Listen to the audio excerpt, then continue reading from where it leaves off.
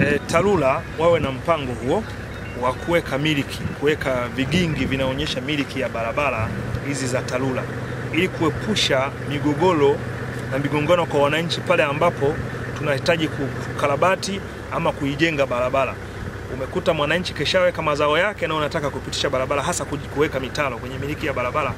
Tukishazionyesha kama mwananchi sasa atalima, na tutoe elimu kwa wananchi kwamba tunaweka hii miliki ya barabara inakomea hapa, ili kama mwananchi akiamua kulima tu kwa ukaidi, alime kwenye riski yake, kwamba tukitaka kujenga barabara iwe kama tutakuta mazao itakuwa ni riski yake. Lakini kimsingi kweli TARURA tunahitaji na wao wa, waweke mipaka e, ya miliki ya barabara zao kwa maana ya kwamba kuepusha ile migogoro ya wananchi kwamba wameniingilia, kumbe mwananchi nadhani kubwa sana ni hilo. Kwa hatua ilipofikia, imelimwa katika viwango vizuri sana kweli, hatuna mashaka.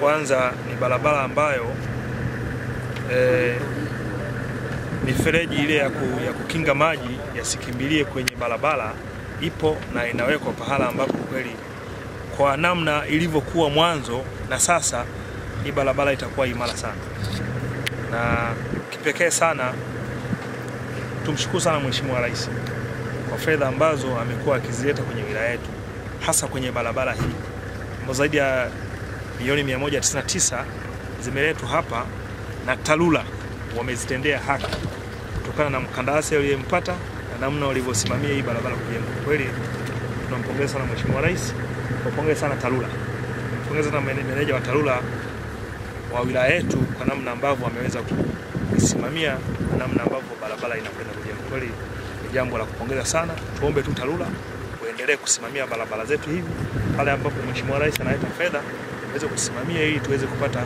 barabara nzuri kwa ajili ya wananchi ya kwa ajili ya kupitisha mazao yao na kwa ajili ya kusafiria. Kimsingi pongeza sana kwa kipekee. Napenda kutoa taarifa ya utekelezaji wa mradi huu wa barabara ya, ya Mkoba Surabutunde Rubanga yenye jumla ya kilomita 14.4.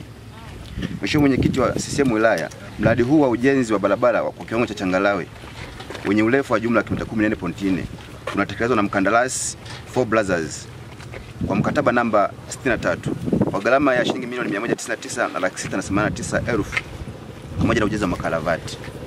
Mheshimiwa Mwenyekiti wa CCM wilaya, mradi huu utekelezwa, utekelezaji wake ulianza tarehe 2 mwezi wa 12 2021 na unatakiwa kukamilika tarehe 31 mwezi wa 3 2022.